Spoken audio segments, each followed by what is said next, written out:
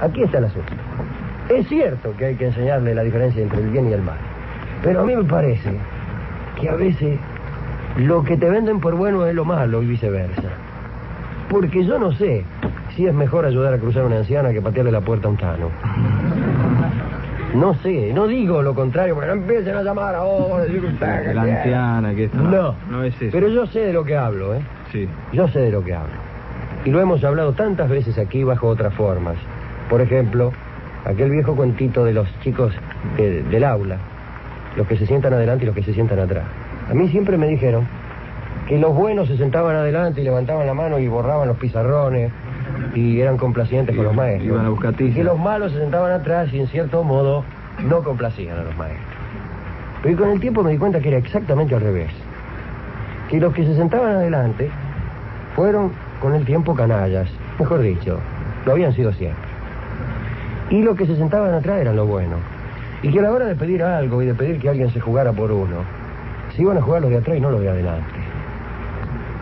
Y que en los momentos en donde que había que sacar algo del bolsillo para jugarlo a una sola baraja, lo que ponían eran los de atrás y no los de adelante. Entonces, una tarde comprendí una de las poquísimas cosas que he comprendido en mi vida, que lo bueno era lo de atrás y los malos lo de adelante. Y que una de las maldades que cometían los malos de adelante era precisamente hacer creer que ellos eran los buenos. Me di cuenta que esto servía para muchos órdenes de la vida, en que los malos tenían un arma formidable, a saber, disfrazarse de buenos. De modo que a la hora de enseñarle la diferencia entre el bien y el mal al chico, que hay que tener cuidado con los ejemplos. Porque si usted se equivoca, por ahí el tipo va a ser malo. Creyendo que eso es ser bueno. Y no sé, y no sé. Por las dudas, enséñele a su hijo este, que algo hay de bueno en sentarse atrás en el colegio.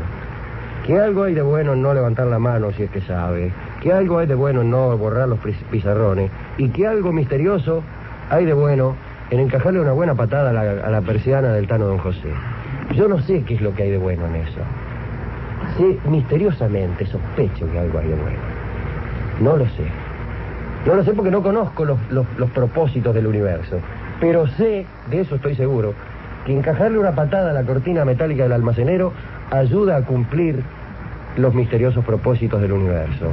Y borrar el pizarrón, por el contrario, no ayuda a cumplir los propósitos del universo. Lo que no sé es cuáles son esos propósitos.